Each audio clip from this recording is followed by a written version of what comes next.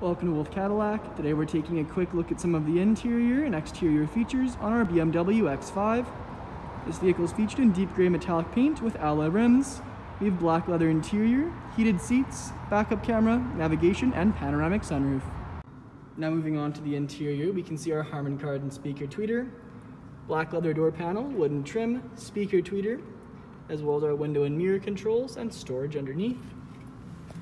We have our memory seat controls, lumbar support and power seat adjustment, lighting controls, digital gauge cluster, multifunction leather wrapped steering wheel, and our front seats featured in black leather. They're heated seats. We also have our padded leather center console lid, um, dual opening. Then we have our gear selection stock, infotainment and radio, or sorry, and um, drive mode controls, two cup holders under our cover. And we have our radio controls, CD player, dual zone climate controls, and heated seat options, infotainment screen with navigation and backup camera. And overhead we have our SOS controls and panoramic sunroof.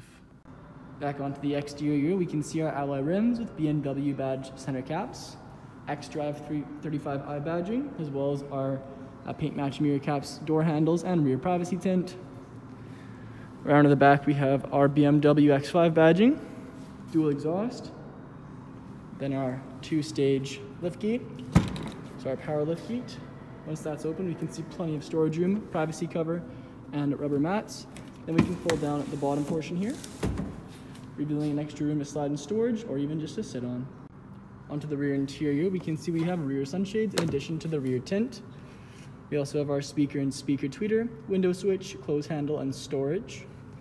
Back of the front seats, we have storage pockets, our rear climate controls and rear heated seat controls, and the back seats are featured in a 60-40 split with fold-down center seat, featuring two cup holders inside.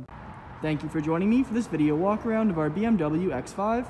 Please subscribe to our YouTube channel for more daily videos, and we hope to see you in at Wolfe Cadillac sometime very soon.